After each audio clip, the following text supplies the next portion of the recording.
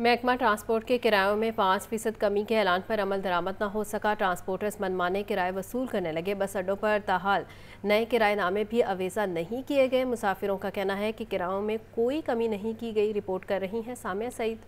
Petroleum मसनूआत की कीमतों में कमी के सम्राट आवाम तक ना पहुँच सके। महकमा ट्रांसपोर्ट की जानब ऐसी किरायों में पाँच फ़ीसद कमी का ऐलान अमल दरामद का मुंतजर। बदामी बाग लारी अड्डे पर ट्रांसपोर्टर्स की मनमानियाँ जारी, अपनी मर्ज़ी के किराए वसूल करने लगे। लाहौर से मुल्तान का किराया सोलह सौ और साहिवाल का एक हज़ार रूपए वसूल किया जा रहा है। सरगोदा का किराया एक हज़ार बीस रूपए और उच्च शरीफ का किराया तेईस सौ रूपए लिया जा रहा है। मुसाफिरों का कहना है, पहले ही बहुत महँगाई है, हुकूमत जो रिलीफ दे रही है, इस पर भी अमल दरामद नहीं हो रहा। किराए की कोई कमी नहीं की।